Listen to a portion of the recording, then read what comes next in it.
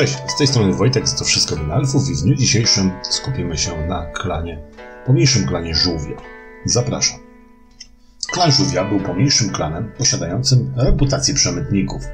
Mieli większą wagę polityczną niż większość pomniejszych klanów ze względu na ich pozycję jako przedstawicieli pomniejszych klanów na cesarskim dworze. Ziemie Żółwia. Żółwie osiadły się wyłącznie na północnym półwyspie Białego Jelenia i na wybrzeżu na północ od Otosan Uchi, czyli stolicy. Główne miejsca na terenie klanu Żółwia. Wieża Świtu. Wieża spoczywała na krańcu północnego półwyspu. Była to nieoficjalna baza operacyjna Żółwia, mimo że była zarządzana przez rodzinę Sepu. Znajdowało się tam też e, dojo Bushi Żółwia. Cesarski port. Wspólnie z rodziną Doji. Kiedyś był to tętniący życiem obszar handlu i podróży, ale po zniszczeniu stolicy zostało tam mały, niewielki port w okolicznych ruinach. Wioska Północna. Niegdyś była potężnym ośrodkiem handlu imperium. Gdy mówię niegdyś, mam na myśli do tych czasów nowożytnych, czyli przedstawionych w czwartej edycji. Więc jeżeli gracie w piątą edycję albo gracie w pierwszą edycję, to to wszystko się dopiero wydarzy, więc nie traktujcie tego jako niegdyś. W wiosce znajdowała się stocznia oraz znajdowała się ona w pobliżu portów różnych wielkich klanów. Towary, które przybywały do Rokuganu, pojawiały się tam jako pierwsze. Port Złotego Słońca. Port koordynował operacje morskie e, żółwia, a także obsługiwał największą ilość towarów eksportowych z lądu na Wyspy Modliszki. Historia klanu żółwia. Żółw został założony w 442 roku po bitwie pod Białym Jeleniem. Y, to była inwazja Gajdżinów na cesarstwo. Hantei Muhakai objął tron po śmierci swojej, swojej siostrzenicy, która została zabita przez Gajdżinów podczas bitwy. Nadał status pomniejszego klanu Akaszy Kasudze i jego zwolennikom. Mimo iż istniały głosy, które mówiły o tym, że mogli oni pomóc Gajdżinom, w ucieczce z Otosan Uchi. Klan powstał z mieszanki rodziny Yasuki oraz Agasha.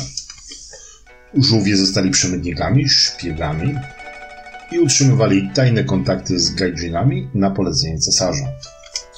Generalnie klan Żółwia nie miał nic przeciwko i otwarcie zapraszał, włączyli się do niego wszelkiego rodzaju uchodźcy, ronini czy heimini.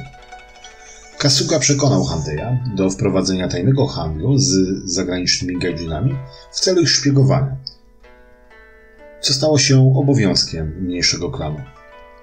Prowadzili oni handel z plemionami gaijin na północy Rokuganu, szerząc dezinformacje i nieścisłości we wszystkich kwestiach związanych z cesarstwem.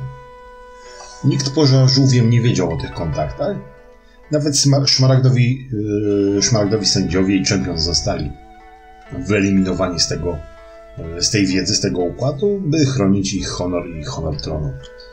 Dodatkowo po pewnym czasie klan Żurawia, no nie klan Żurawia, tylko klan Żółwia, yy, dostał obowiązek ochrony cesarskiego miasta Otosanuchi oraz wszelkich zachowywania wszelkich funkcji administracyjnych od naprawienia domów, sprzątania ulic poprzez właśnie niezbędne prace i wystawianie załogi do obrony murów i portu. Zajmowali się oni też spisywaniem historii domów cesarskich i stolicy. Poza rodziną cesarską, sojusze, o których warto wspomnieć dla klanu Żółwia, był silny związek z rodziną Yasuki oraz klanem, oraz klanem Feniksa. Dodatkowo dobre stosunki z kilkoma żurawiami i populacją Otosanuchi. Żółwie były najbardziej towarzyskim, pomniejszym klanem. Uprawiali grę, w której dwóch zawodników wymieniało się grzecznie sformułowanymi obelgami przez kilka minut, aż jeden nie był w stanie odpowiedzieć. Był to ich sposób, by ukryć haniebny charakter ich codziennych zajęć. Sojusz Yoritomo. Żółw ochoczo dołączył do, do sojuszu Yoritomo, kiedy Yoritomo zaoferował go w 1127 roku. Stali się oni swoistymi ambasadorami sojuszu na kontynencie. Era Czterech Wiatrów. Po śmierci Doturiego I żółwie związały się z Hantei Naseru, młodszym z Czterech Wiatrów. ponieważ najprawdopodobniej popierał cele i filozofię klanu żółwia. Upadek Otosan Uchi. Po upadku Otosan Uchi w 1159 roku Żółw opuścił swoją wioskę i utrzymywał tam nominalną obecność. Podzielił swoją liczebność prawie równo pomiędzy Toshin Rambo, czyli Rambo, czyli nową stolicę, a wschodnie wybrzeże, gdzie w, pozostały, w pozostałych ruinach Otosanushi znajdował się port. W 1160 roku dekret e, cesarza dał Żółwowi oficjalną zgodę na naprawę starej stolicy. Traktat z jednorożcą.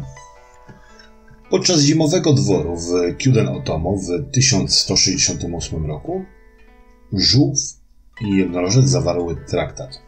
Żółwie Żółwie miały szerzyć kult uznawany w pośród jednorożców, kult Shintin Yenwang, budując e, świątynie wzdłuż swoich szlaków handlowych oraz w portach.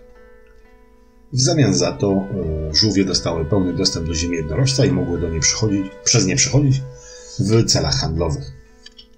Żółwia flota. Żółw miał dość dużą flotę, ale wszystkie statki były budowane nie na rokugański typ, ale na, gdyby nie bandery, gdybyśmy zobaczyli je na morzu, na pewno wzięlibyśmy je za gajdżyńskie konstrukty. Mon. Mon przedstawiał żółwia, a kolory klanu był to niebieski-szary, złoty, jasnozielony i biały, czyli kolorowy prawie jak modliszka.